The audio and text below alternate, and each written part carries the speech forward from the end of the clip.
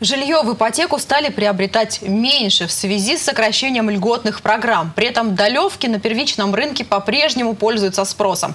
Что происходит, с чем связана такая тенденция? Об этом и не только. Мы поговорим с Татьяной Афанасьевой, начальником отдела государственной регистрации недвижимости Управления Росреестра по Алтайскому краю. У нас сегодня она в гостях. Здравствуйте. Добрый день. А, действительно ли ипотека стала меньше пользоваться спросом у жителей Алтайского края и Барнаула в том числе? Э, с чем это связано? Ведь, казалось, еще недавно были такие привлекательные проценты. А, в связи с тем, что э, банки в настоящий момент завершили программу льготного кредитования, конечно же, у нас ипотек стало меньше, э, начиная с июля угу. 2021 года. Вместе с тем, а, по, э, при заключении договора долевого участия банки предлагают по-прежнему хорошие льготные проценты. Угу. И потому мы говорим о том, что ипотеки как таковой стало меньше, а договоры, количество договоров долевого участия, в принципе, на том же уровне. Угу на том же уровне по сравнению там с каким-то периодом до ажиотажа. Да. До да. ажиотажа мы называем вот тот самый момент, когда проценты были 6 и даже да. меньше.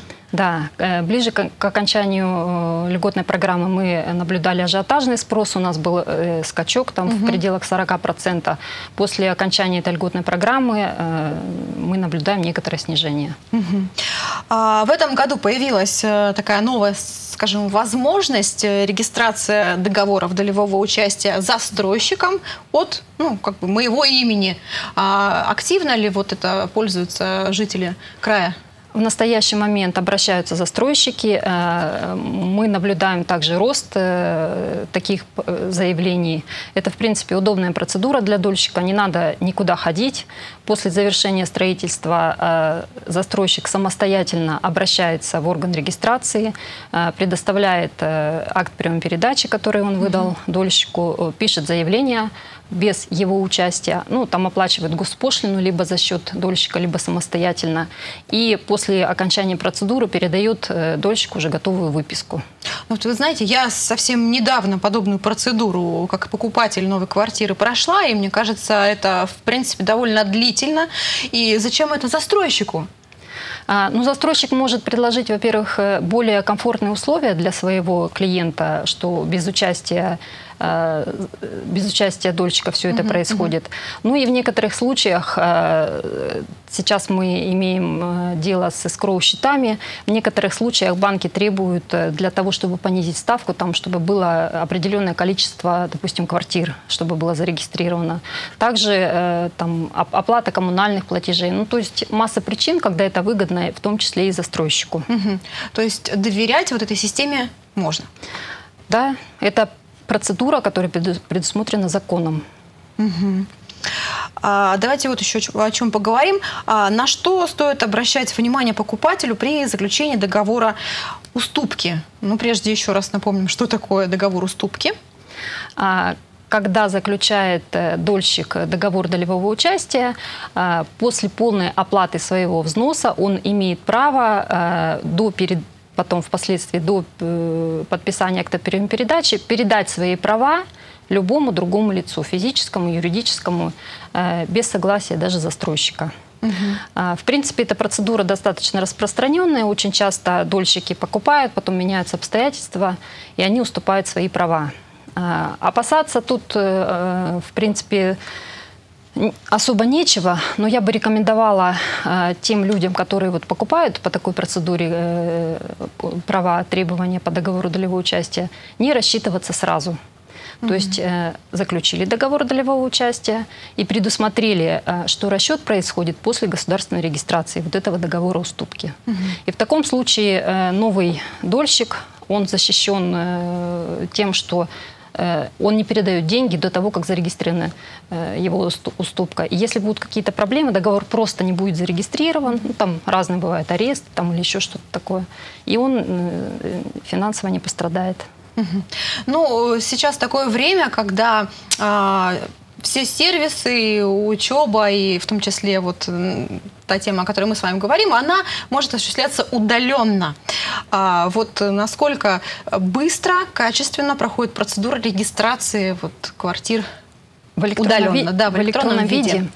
Ну, здесь мы говорим э, о том, что можно подать документы в электронном виде. Э, любые виды сделки могут быть э, зарегистрированы в электронном виде. Для этого необходима электронная подпись. Э, можно зайти на портал госуслуг Росреестра, можно воспользоваться какими-то другими кабинетами электронного взаимодействия. И в этом случае, опять же, без посещения офисов приема э, можно заключить договор, подписать его электронной подписью и представить документы также она удобна тем, что можно документы подавать в отношении объектов недвижимости на территории любого э, региона Российской Федерации. То есть э, можно, допустим, в Барнауле подать документы э, и заявление о регистрации права на квартиру, которая находится в Москве. В принципе, эта процедура удобна. Если мы говорим про договор купли-продажи, когда необходимы подписи, также можно, э, здесь нет территориальной привязки, можно подписать в Барнауле электронной подписью, в Москве электронной подписью, эти документы вот с разных точек подать. Вот уже второй год в стране у нас действуют э, экскроу счета. А насколько для потребителя действительно гарантия того, что все будет четко, и если случится чего, деньги он не потеряет? А, система escrow счетов предполагает, что э, деньги находятся на этих счетах до определенного э, периода. А в данном случае у нас должно наступить событие ввода объекта в эксплуатацию. Ну, там иногда банки предлагают другие варианты, там, например, э, чтобы был какой-то процент готовности вот этого дома, и после этого они передают деньги застройщику. И вот когда дом вводится в эксплуатацию, только тогда банк перечисляет деньги на счет застройщика. Ну, то есть я правильно понимаю, а, потребителю лучше выбирать ту компанию, которая уже работает с экскроу счетами?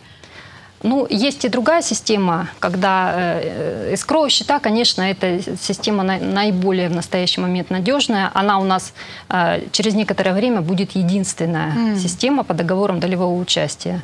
А, потому что здесь дольщик в любое время может отказаться там, если нарушил срок застройщик, срок передачи, он может отказаться, отказаться от договора, вернуть эти деньги. В принципе, она достаточно надежная. Но также существует еще и система а, взноса денежных средств Э, э, на э, счет Фонда защиты прав дольщиков. То есть при заключении договора участия застройщик вносит определенную сумму в размере 1,2 от суммы договора. И когда наступают какие-то неблагоприятные последствия в виде нарушения срока передачи, там какие-то проблемы, банкротства, то в данном случае а, к завершению строительства подключается вот эта публично-правовая компания Фонд защиты прав дольщиков. В принципе, здесь тоже гарантировано в дальнейшем получение этого объекта, но по искровым счетам она более понятна, более быстрая. Можно просто взять и вернуть деньги со счета. Угу. А когда мы говорим а, о той системе, когда взносы вносит застройщик, она ну, несколько более длительная будет для дольщика. Угу. Ну, когда случится такое, что все компании будут работать по экскроу счетам? В настоящий момент у нас достраивается несколько домов, вот, ну, процентов, возможно, ну, где-то 30 процентов, а, которые достраиваются вот по этой старой схеме mm-hmm. путем внесения средств. Ну и там в следующем году, я думаю, что к концу следующего ну, года... То есть уже новый уже объект у компании, который будет э, появляться и строиться, то уже по... Уже с 1 июля 2019 года исключительно mm-hmm. все объекты только на счет внесения денежных средств на счета эскроу. А Каков на сегодняшний день срок э, регистрации документов? А, не придется ли там ждать неделями и так далее, чтобы получить заветные вот бумаги на руки? В настоящий момент э, в том случае, когда заявители подают документы в электронном виде, на территории Алтайского края действует общий срок один день один рабочий день. То есть это любые пакеты, любой категории сложности, любых видов сделок. Если в электронном виде подают заявители, то они получают документы на следующий день. Ну, при условии, что там госпошлина оплачена, никаких замечаний нет. Ну, а остальные сроки, если э, через МФЦ, через кадастровую палату, это 7-9 рабочих да, дней. Да, да, да. А в электронном виде мы часто говорим о том, что взламывают всевозможные мошенники, наши карточки и так далее. А вот в данном случае чего стоит бояться, чтобы не попасться на удочку мошенников? И вообще реально ли это? А, в настоящий момент э, можно э, собственникам обезопасить себя от мошенников, э, подав заявление о, либо о регистрации, о невозможности регистрации без личного участия правообладателя. Угу. Это первое заявление. И второе заявление, когда заявитель подает в электронном виде э, какие-то документы о переходе права собственности, например, он прежде должен подать заявление о том, что он согласен на регистрацию в электронном виде. Угу. То есть если у нас э, поступает заявление о регистрации, допустим, купля-продажа в электронном виде, и мы видим, что заявитель прежде не дал согласие на то, чтобы мы зарегистрировали в электронном виде, мы такую сделку вернем без рассмотрения. Ну вот где-то можно ознакомиться со всеми пошаговыми инструкциями, как быть потребителю, может быть, на каком-то сайте, может быть, у вас где-то на портале есть э, видео, какие-то уроки, курсы. А, есть и э, всего две статьи в законе о государственной регистрации. Закон 218, федеральный закон о государственной регистрации недвижимости. И там указано, какие заявления угу. заявители подают. В принципе, вся информация также размещена на портале услуг, э, официальном портале Росреестра. Угу. Ну, спасибо. Я думаю, что за эту полезную беседу я все эти процедуры уже прошла. Для кого-то наверняка это очень важно. А, я напомню, что сегодня у нас в гостях была Татьяна Афанасьева, начальник отдела государственной регистрации недвижимости Управления Росреестра по Алтайскому краю.